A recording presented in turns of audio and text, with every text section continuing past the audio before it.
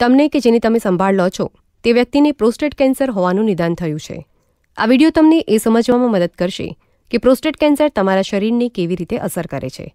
Prostate એ પુરુષોમાં સ્થિત એક ગ્રંથિ છે કે જે વીર્યમાં રહેલ પ્રવાહીનો એક ભાગ બનાવે છે.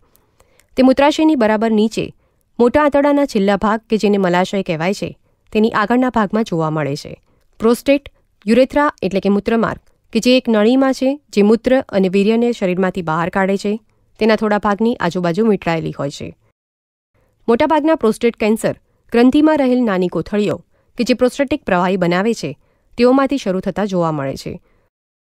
અહીં નાની કોથળીઓની અંદર રહેલ ગ્રંથિના સ્તરના કોષોમાંથી કેન્સરના કોષો બને છે. સમય જતાં કેન્સરના કોષો વધી શકે છે અને જીવલેણ અથવા કેન્સરગ્રસ્ત ગાંઠ બનાવી શકે છે. જોકે મોટાભાગના પ્રોસ્ટેટ કેન્સર અન્ય પ્રકારના કેન્સર કરતાં વધુ ધીમેથી વધે છે.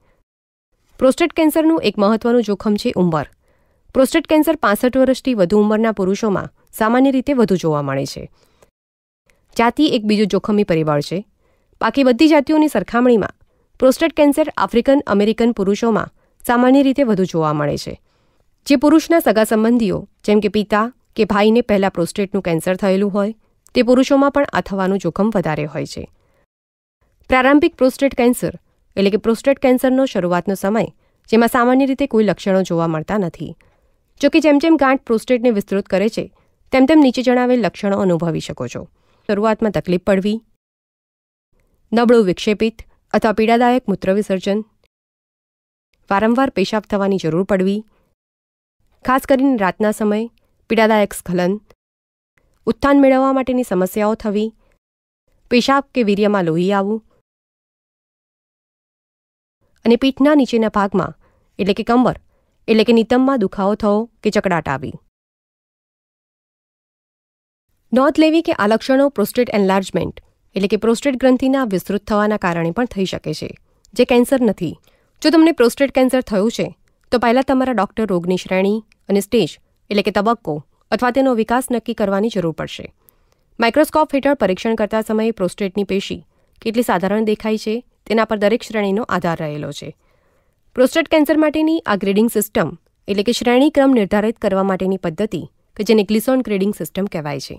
આ ક્રમ વ્યવસ્થા પદ્ધતિમાં ટ્યુમર એટલે કે ગાંઠના બે મુખ્ય ભાગને નમૂના પરથી દરેકને એકથી પાંચ સુધીનો ક્રમ આપવામાં આવશે. કેન્સરને બેથી દસ વચ્ચેનો ગ્લિસોન સ્કોર આપવા માટે ગ્રેડ્સ એટલે કે ક્રમને સાથે જોડી દેવામાં આવશે. ગ્લિસોન સ્કોર જેટલો વધારે, તેટલી જ વધારે શક્યતા કેન્સરને વિકસવાની અને બીજા અંગોમાં ફેલાવાની. પ્રોસ્ટેટ કેન્સરના દરેક સ્ટેજનો આધાર તમારા શરીરમાં કેટલી માત્રામાં કેન્સર છે અને તે કઈ જગ્યાએ સ્થિત છે તેના ઉપર આધારિત છે. આ સ્ટેજોને એકથી ચાર સુધી ક્રમ આપવામાં આવ્યો છે. સ્ટેજ એક, પહેલા તબક્કામાં ગાંઠ પ્રોસ્ટેટની બહાર ફેલાઈ નથી. સ્ટેજ બે, બીજા તબક્કામાં કેન્સર ઘણું વધારે વિકસી ગયું છે, પરંતુ હજી પણ માત્ર પ્રોસ્ટેટ પૂરતું સીમિત છે. સ્ટેજ ત્રણ, ત્રીજા તબક્કામાં કેન્સર પ્રોસ્ટેટના બાહ્ય સ્તરની બહાર ફેલાયું છે.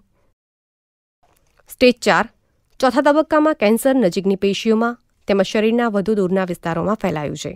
જ્યારે તમે પ્રોસ્ટેટ કેન્સરનું નિદાન શોધી રહ્યા છો, તમારે સતત તમારા ડોક્ટર અને કેન્સર સંભાળ સંગઠન સાથે સંપર્કમાં રહેવું.